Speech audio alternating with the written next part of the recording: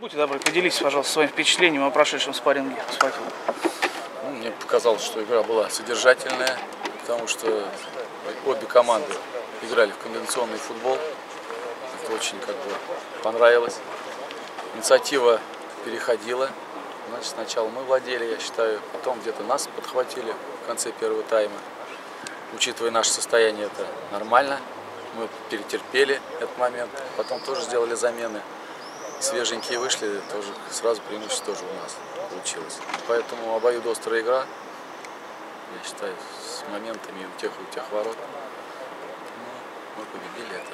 Я считаю, в принципе, заслуженно. Хотя это вопрос такой риторический. Как у вас получается сейчас на новом месте, в новой должности в торпедо? Ну, конечно, сложноватый очень момент, потому что время очень мало. Ограниченное время, команда поменялась на 70-80%.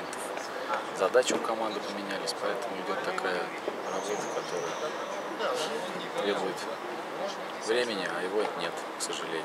Поэтому вот это очень большие сложности. Вы совсем недавно могли оказаться в роли главного тренера в Воронежском клубе. Сейчас вы уже в качестве главного тренера команды соперника выступали. Может быть, сможете пару слов о нашей команде сказать, как вам показался сегодня именно факел? Мне понравилась команда, то есть играет тоже традиционный футбол, который мне тоже импонирует.